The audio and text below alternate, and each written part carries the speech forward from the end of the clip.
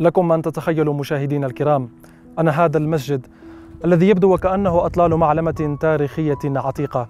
كان قبل أسابيع قد دخل مراحل ترميمه الأخيرة وكانت أسواره العالية وغرف الصلاة به ومحرابه المزين والمزخرف على بعد ثلاثة أشهر من فتحها أمام الزوار المسلمين وغير المسلمين. هنا مسجد تنمل الأعظم. بني المسجد عام 1148 في عهد الخليفة الموحدي عبد المؤمن بن علي الكومي الذي تتلمذ على يد مؤسس الحركة الموحدية المهدي بن تومرت الفقيه والعالم ابن قبيلة مصمودة الذي صال وجال المغرب للدعوة إلى نظام حكم إسلامي جديد توفي قبل أن يبسط يده عليه بعد أن انهزم شر هزيمة في معركة البحيرة عام 1130 على يد المرابطين وفقد خلالها عددا كبيرا من مقاتليه ومتابعيه. ليحمل عبد المؤمن إرث وعبء رسالة أستاذه ويعيد لملمة جراح الهزيمة النكراء خلال عام ونصف. جذب فيها قبائل جديدة وانطلق بجيش وصف بالعظيم من هذه المنطقة منطقة تنمل حاملا شخصية ابن تومرت الثائرة وفكره التوحيدي لله الجديد.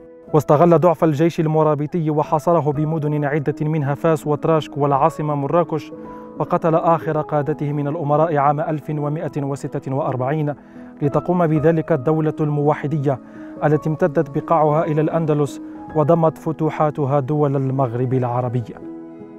تصدعت أبواب المسجد وسقطت أسواره بشرفاتها العالية التي كانت تشهد على خصائص العمارة الموحدية وهوى جزء كبير من مئذنته كما انهارت أروقة الصلاة الداخلية التسعة. هنا تنمل مهد حركة متمردة تحولت إلى دولة قائمة بذاتها في القرن الثاني عشر.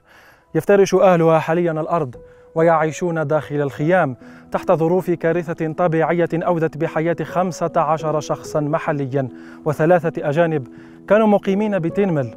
بصفتهم عمالا كانوا يشتغلون على إعادة ترميم المسجد. وزارة الثقافة ووزارة الأوقاف والشؤون الإسلامية ومنظمة الإيسيسكو ومنظمة اليونسكو كلها منظمات قيمت الأضرار التي لحقت بالمسجد الأعظم متأسفة وتعهدت بإعادة ترميمه فكيف سيبدو الوجه الجديد للمسجد الأعظم؟